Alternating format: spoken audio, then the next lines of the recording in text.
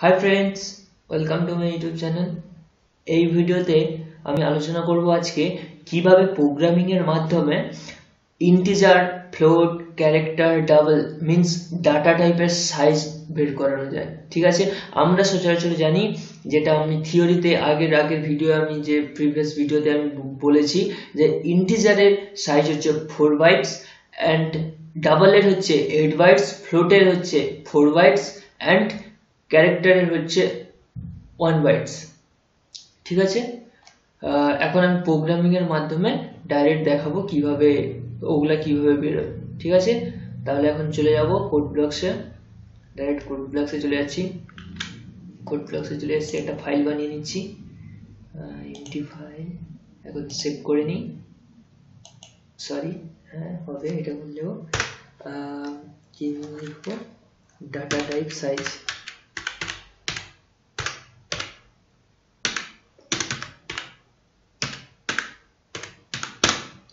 ঠিক আছে? এখন সাধারণ নিয়মে আমরা প্রথমে কি লিখতে হবে? আমাদেরকে হেডার ফাইল লিখতে হবে। Hash include studio that is sorry তারপরে হচ্ছে main function int main first bracket close function মানে ফার্স্ট ব্র্যাকেট হবে, এটা বলেছি আমি আগে। তো এখন কি? আমরা কার বের করব প্রথমে। সাপোজ ক্যারেক্টারের বের করি। Int sorry character suppose A ঠিক আছে? এখন প্রিন্ট এফ কি লিখব? সাইজ অফ দা ক্যারেক্টার কিংবা size of the data type of the data type ঠিক আছে?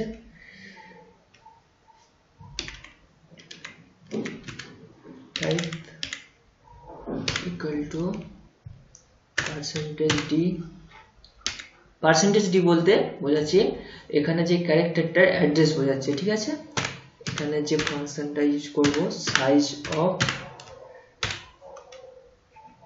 কার আমরা বের করব? এ ক্যারেক্টার এ তো এর এখানে দিয়ে দেব। লাস্টে কলন রিটার্ন জিরো বা গেট সিএইচ যা কিছু দিতে পারো। কোনো অসুবিধা নেই। ঠিক আছে? হয়ে গেছে আমাদের। এখন আমরা রান করব। বিল্ড বিল্ড অ্যান্ড রান একটু ওয়েট করুন। দেখা যাক কি হয়। সুন্দর দেখিয়ে দিয়েছে size of the data type আমি বড় করে দেখিয়ে দিচ্ছি। Size of the data type one দেখতে পেয়েছ সবাই?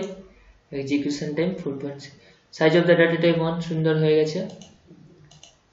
এখন আমরা সাপোজ ফ্লোট ফ্লোটের বের করব। ফ্লোটের কত জানি আমরা চার। কি? ফ্লোটে পার্সেন্টেজ ডি ঠিক আছে? Size of the data type দেখা যাক কি হয়। Build build and run four বেরিয়ে গেছে ইন্টিজার আগে ডাবলটা করে দিই D U জিএলই double go to the build build and run then output will become output 8 exact বেরিয়ে গেছে বাকি থাকল কি ইন্টিজার ইন্টিজারটাও করে নিই একবার। int a, ঠিক আছে? build and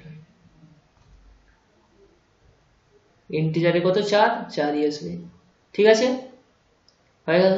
তাহলে আজকের ভিডিও এখানেই। আজকের ভিডিওটা ছিল শুধুমাত্র সাইজ অফ ডাটা টাইপের নিয়ে। তো শেষে একটা কথা বলি। এরপরে আস্তে আস্তে প্রোগ্রামিং এর দিকে এগোচ্ছি। বিভিন্ন টপিকের উপর আসব। এর আগে পর্যন্ত সব থিওরি ভিডিওগুলো এসেছিল। অনেক থিওরি হয়তো হয়েছে, অনেক থিওরি বাকি থেকে গেছে। যেগুলো বাকি থেকে গেছে ছোটোখাটো সেগুলোর জন্য তো আর আলাদাভাবে করতে পারি না। তো যখনই প্রোগ্রামিং হবে, তার মাঝেই বলে দেবো। যেমন এটা বলা হয়েছিল যে পার্সেন্টেজ ডিটা কি? পার্সেন্টেজ ডি এটা হচ্ছে সাধারণত যে ইনপুটটা আমরা নিয়েছি, তার অ্যাড্রেস আন্ডারস্ট্যান্ড ঠিক আছে? আর এটা হচ্ছে ফাংশন এই ফাংশন ইউজ করে আমরা সাইজ বের করতে পারি। এখানে মাঝখানে কিন্তু স্পেস দিলে হবে না। স্পেস দিলে কিন্তু রং দেখাবে। দেখাচ্ছি। বিল্ড অ্যান্ড রান দেখেছ? সুন্দর।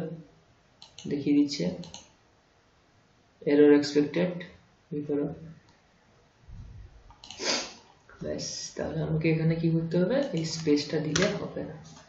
এখন সুন্দর রান করবে। বিল্ড বিল্ড অ্যান্ড রান ঠিক আছে? হয়ে গেছে। Size of the data type ঠিক আছে, এরপরে আমার ভিডিওগুলো সব প্রোগ্রামিং বেসিস আসবে আস্তে আস্তে করে।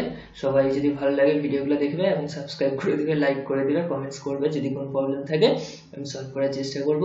ঠিক আছে? বাই